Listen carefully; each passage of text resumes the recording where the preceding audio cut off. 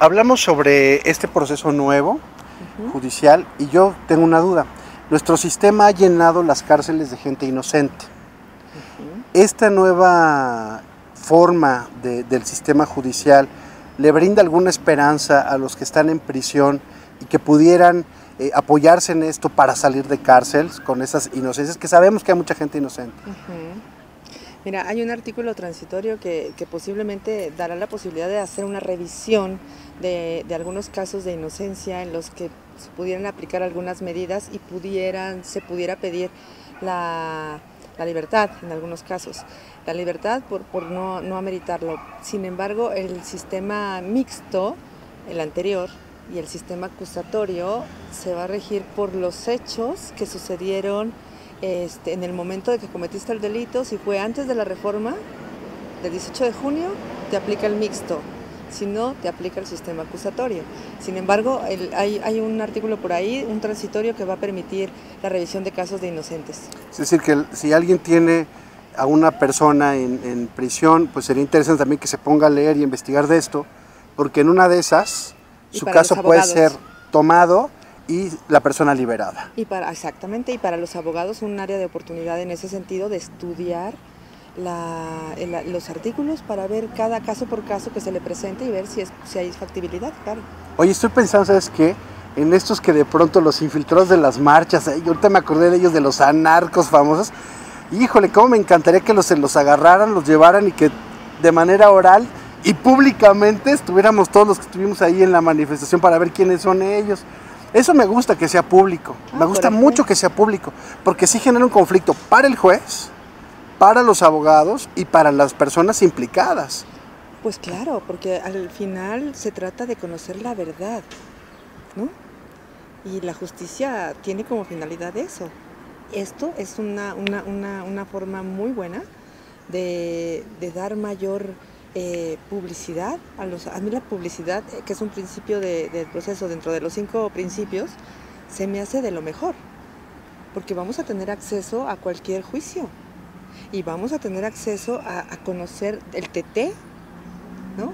de las personas, de los jueces, de una actuación del Ministerio Público en cada, en cada caso en particular. Se me hace interesante porque más, más allá de lo, de lo que es legal, empiezo a notar que hay una parte moral. Exacto. Porque no es igual ¿no? que llegue una persona acusada de algo y que tú digas, por ejemplo, a ver, que venga su mamá, ¿no? Y que su mamá esté paradita también ahí oyendo toda la sarta de estupideces.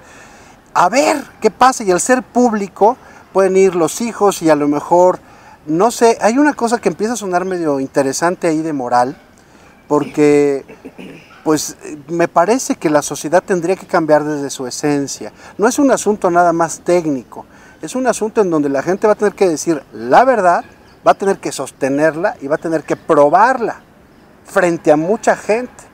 Esto ya no es una cosa común que aquí en lo oscurito y ahí a ver cómo lo hacemos. O sea, esto es una transformación porque además venimos de una sociedad que está acostumbrada a mentir, que está acostumbrada a manipular. Totalmente. Y que de pronto sucede que... Ah, ahorita me acuerdo de esto que estábamos comentando, que de pronto hay gente que es muy buena para actuar las, las cuestiones de victimización. Hay dos temas. Una, que una viejita diga, por ejemplo, sí, asesinó a alguien y llore, ay, soy viejita, no me tienen que hacer nada, ¿no? Y la otra, gente que de pronto la quieran llevar a un punto crítico, por ejemplo, en lo que comentábamos, una violación, y que estás forzando a la persona a revivir lo que está pasando. ¿Qué pasaría ahí en esos casos? ¿Qué pasa con los que mienten y actúan y chillan y lloran? ¿Y qué pasa con los que están forzándolos a que revivan el hecho? Justamente se está fortaleciendo y este sistema lo que quiere es fortalecer el, valor probatorio, la carga probatoria. Ahora va a haber lo que se conoce como cadena de custodia, pero también ahora el defensor tiene las posibilidades, el defensor, fíjate nada más, el abogado puede investigar en la escena el, el, modo de operación de cualquier cosa. Es decir, si esta señora que me dices, ay, me quieren matar, etcétera, bueno, este, eh, pero caemos en una mentira. A ver, pero usted, señora, ¿cómo que le estaban matando si usted estaba sentada en ese momento en otro Criminalística, lugar? Etcétera. Investigación. ¿Me puede decir exactamente cómo fue? Vamos, tiene que ser una investigación seria. y la intención es darle seriedad a todo, a todo, a todo el sistema y a mí me tiene muy entusiasmada, estoy estudiándolo mucho por esa, por esa situación porque me parece que se va a aplicar un verdadero derecho. Ojalá, por supuesto que estamos arrancando, se está arrancando ¿no? en, en este proceso, pero me parece que así ya esas actuaciones, lejos de que de todos modos tengas que actuar en cierta, en cierta medida, todo va a ser a valor probatorio. ¿Por qué? Porque el juez va a decidir todo lo, todo, va, te, va, te, va, te va a condenar o te va a absolver con base en lo que le oferten las partes. Claro. Él no va a conocer nada. ¿Sabes? Él no conoce ni una carpeta de investigación, antes llamadas averiguaciones previas, no conoce nada y tú como abogado le vas a tener y como fiscal, el Ministerio Público le va a tener que dar toda la evidencia y se va a volver como, nos vamos a volver como en marchantes en un, ¿no? en, en un momento dado. En la estrategia de forzar a la víctima a que la queramos voltear como que no fue víctima, porque pasa mucho con violaciones y maltrato familiar. Mm. Si la quieren, se la quieren voltear.